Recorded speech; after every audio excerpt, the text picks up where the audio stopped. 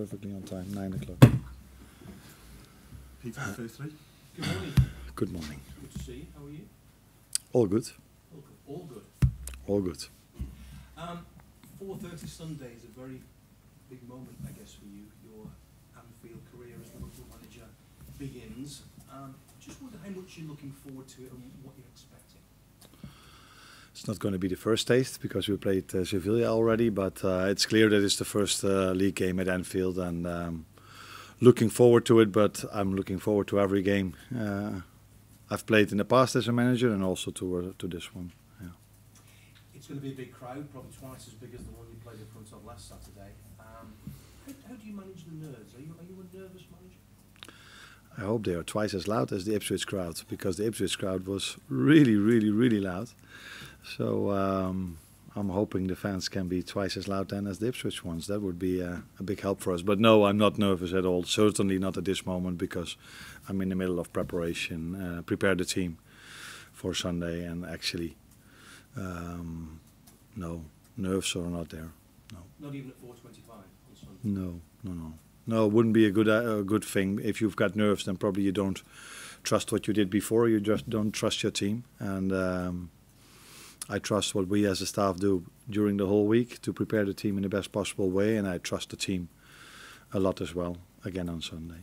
I know you've been asked in recent weeks about new signings, and, and obviously you've been reluctant mm. to, to, talk about them.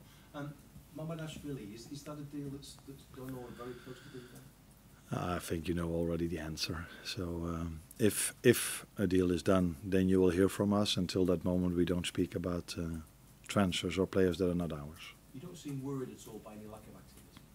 No, because I trust the team, and um, I've said many times before, I inherited a real good team, a team of many young players as well, and I think we all know that especially young players can develop at, at the ages they're on at the moment. So we just try to work as hard as we can with them and we trust them a lot. And they've they've they've proven last week that they earned this trust, and I'm hoping that they show the same on Sunday again. Good luck. Enjoy the day. Thank you. I will. Um, just going on from, from that theme, there was such a, a, difference in terms of the first half performance versus the second half performance. How do you feel uh, you are getting on in terms of being able to explain to the players what it is you want from them, and then then buying into that? I think we're we're on a good track, if that if that's the way to say it. So, um, but we have to understand that some of them are only here for three weeks, uh, and there's quite a large part of our group is with us for three weeks. So, um, and it's not only about us; it's also about the opponent, what they bring into the game. And I think um, I said it before that Ipswich put a lot, a lot, a lot of energy in the first half to make it really difficult for us, and um, or we stepped up, or Ipswich was, were not able to keep bringing the same energy in the second half. And um, it, I think it was a bit of both. And uh, we got a bit more space, and then you can see how well these boys can play. But um, there's still a lot, a lot of work to do. But uh, it was a good first, uh, first step, especially the second half. Um, and in making substitutions at half time, when you look at the quality of the bench that you've got, it must be great see that those options that you have. But in, in making sure that you are not afraid to make substitutions, are you partly learning more about the squad that you have, but also trying to create some competition? Oh, I'm learning every day still of, uh, uh, about these players, about the individuals, and also how they cooperate with each other. So, um, and um, for me, the last week was not only important on Saturday, the Sunday was also really important because I learned and saw there that the ones that didn't play on Saturday were able to bring a really good training session in on Sunday. And I think that is one of the most, not one of the most, that's a really important thing for a team as well because we all know that we're going to need many, many, many of them during the season for a lot of uh, game minutes. And um, they brought in a really good training session on Sunday. And um, that that will help them and us for the rest of the season. And yes, I am still learning new things about the players, which is normal, because like I just said, with some of them I only work for three weeks, so uh, still seeing new things from them. Uh, how's Joe Gomez? Do you feel like his head's in the right place for this weekend? Yeah, it's been in the right place for three weeks, so. Uh, He's worked really really hard since he came back, but uh, he um, he didn't play a lot at the Euros. When he came back and in the first sessions we couldn't um, he couldn't train the whole uh, session, so we had to manage his load a bit, and that was also the reason why he wasn't in the team last Sunday. But this week he had a good week, so uh, in terms of uh, load, uh, how much he could do with the team. So um, yeah, he's one of the players that I uh, see new things from and and and, and, learn uh, things what I see from him, also combined with other players. So been a good week for him and for us till now.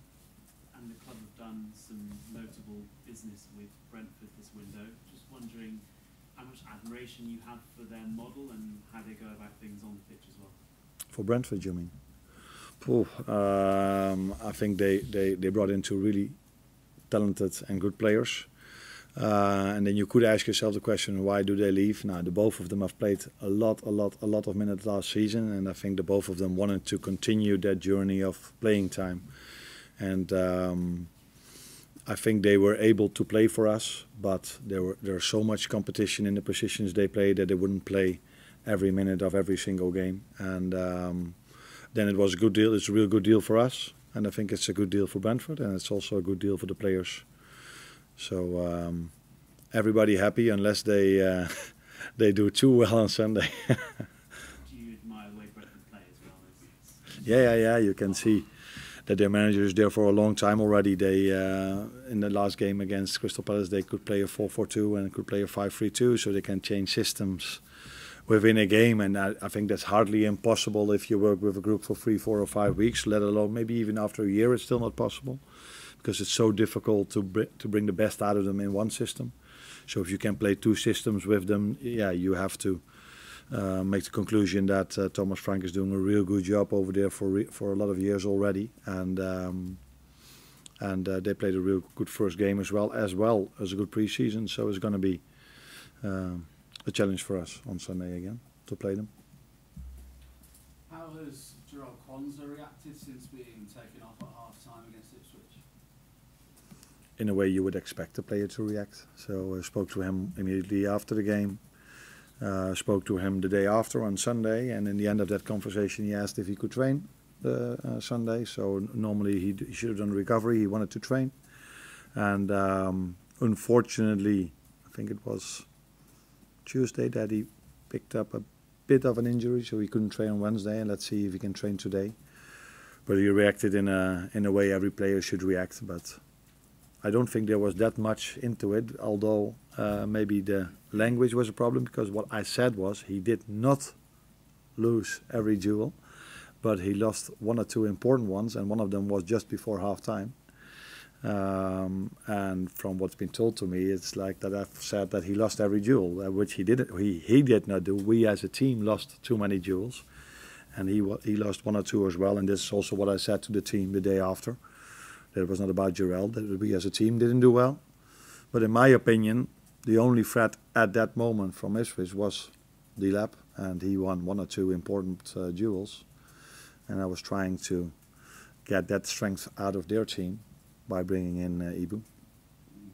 And sold a couple of younger players this transfer window. Some fans might be concerned that you might be letting some promising talent go a little too soon. Do you understand where they're coming from? Yeah, that's always a difficult one because young players want to play as well, and if they want to develop, they have to play. And it's always like this. So they come through the ranks of the youth academy, and either then you're good enough to play for us many minutes, or you're still not there, or there's too much competition in your position. And uh, I think still this team, which what we have, have a lot of uh, homegrown players, and um, and and one of them Trey Nyoni is also training with us on a daily basis, but only 17 yet. So this club will always bring good youngsters, and uh, it's it's always a challenge to find the right moment either to play them or if they've played quite a lot of minutes, they want to make the next step in their career, and if that is not possible because Virgil van Dijk is playing here or Mo Salah is playing here or all the other top players are playing here, then it's the best for them and also for the club to let them go. Um, because uh, you always want to take care of your own interest, but you also have responsibility to the players. And if they want to play somewhere and it's not possible for us with us 'Cause- and they're not happy with five or six hundred minutes because these youngsters didn't play much Premier League games. They played a few games in the cup. Then um, then you have to, um, in my opinion, let them develop somewhere else. Thank you. Carl? Um, on the centre back situation, is it a case of three players competing for one place alongside Virgil, or do you see different players coming in like like last Saturday with different jobs each year? Um, Virgil came in three weeks ago, and uh, in my opinion, he made a lot of impact uh, when he came back. So he made a lot of impacts in all these years he's played here. But me working with him, he's shown how much he cares about the team and how how, how good he is. Um, but for him, it's and the same with Mo. Like all the others, they still have to bring their performances in. Uh, so, in my opinion, there are four players uh, having competition for two positions. Um, but at this moment, it's clear that Virgil is playing, and he's also going to play on Sunday if he's fit. And you, you selected uh, Gravenberch as the six. I guess it's probably not a position he's played regularly throughout his career. What do you see as his qualities for that role for your team? I think um, he brings in certain qualities which we like in that position, but he only played uh, uh, two games in that position, and he did it in both times really well. So against United, he played well. Oh, three games though, against Sevilla and against Ipswich. Now, only one of them was um, was a game that matters uh, in terms of a Premier League game. So he has a lot to prove in that position still. But uh, first first games he did well.